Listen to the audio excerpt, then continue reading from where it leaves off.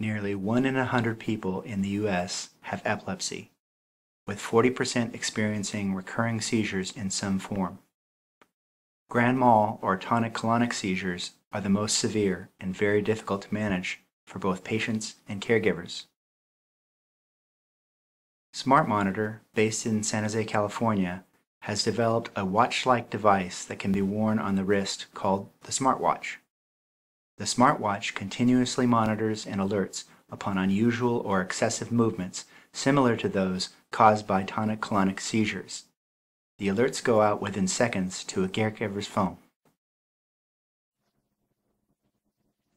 There are a lot of bad things about having seizures, but one of them is that many people can't tell somebody when they're having a seizure, and they may be in need of medical attention during the seizure.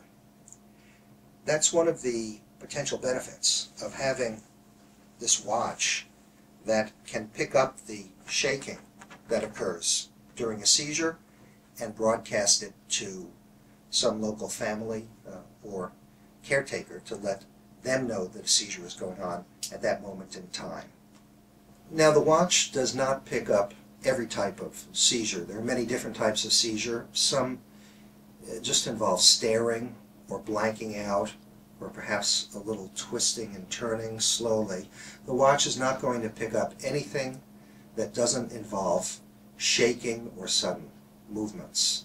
However, the biggest seizures, which are usually known as grand mal, or officially called tonic-clonic seizures, involve the tonic phase, which is the stiffening, and the clonic phase, which is a jerking.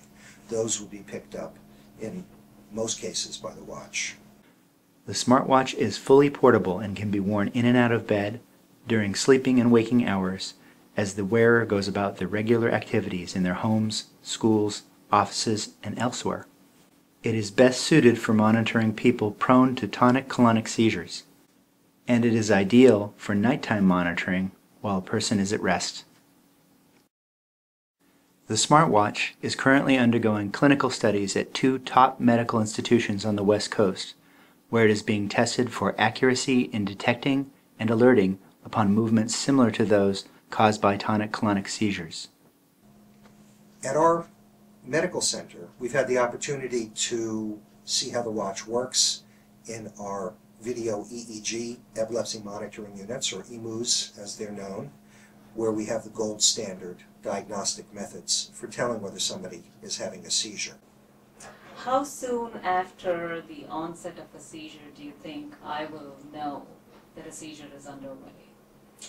It could be uh, between 15 and 30 seconds before you know, because it does need to record the shaking for a few seconds in order to detect that a seizure is going on. Mm -hmm. Then the transmission takes a few seconds to the mm -hmm. local phone or the alarm device, but mm -hmm. uh, generally less than half a minute.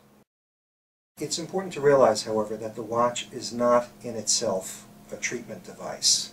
It's simply a notification device. Now, it's possible in the future that notification might allow some immediate home treatment, but right now it's, it's there to let family know that a child or a senior person in the family with seizures is having seizures so that you can go in and make sure that they're all right. In essence, it is a peace of mind device.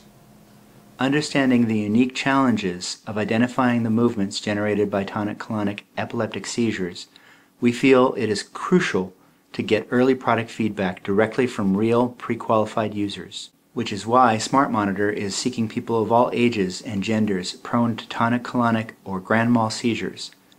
We are now enrolling a limited number of participants for in-home beta tests of the smartwatch product.